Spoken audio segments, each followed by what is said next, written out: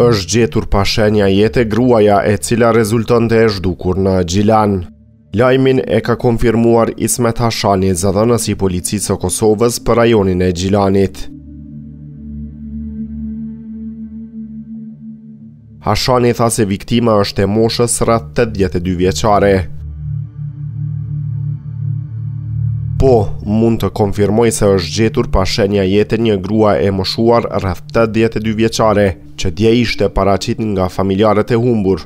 Prokurori i shtetit ka dalë në vendin e ngjarjes dhe ka urdhëruar që trupi i pajetë të dërgohet në Institutin e Mjekësisë Ligjore në Prishtinë, tha ai. Ndryshe policia konfirmoi sot se gruaja ishte zhdukur nga dita e enjte dhe se e njëjta kishte probleme mendore.